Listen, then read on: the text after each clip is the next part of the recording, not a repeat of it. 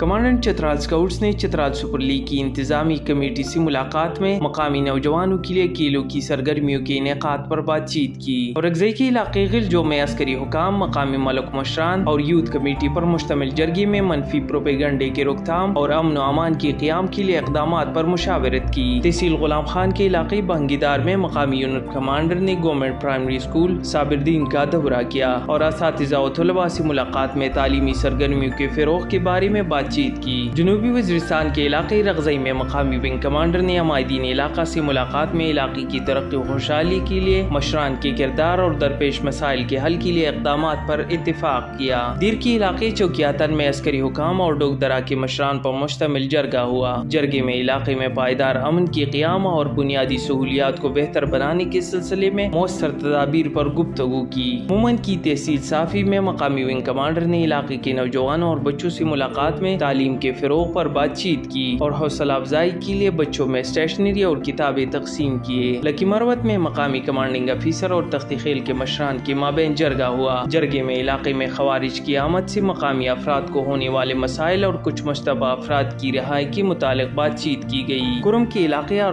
میں مقامی wing commander اور معززین علاقہ کے مابین جرگی میں علاقے میں امن و استحکام کو برقرار رکھنے اور باہمی ہم آہنگی کے فروغ پر تبادلے خیال کیا گیا۔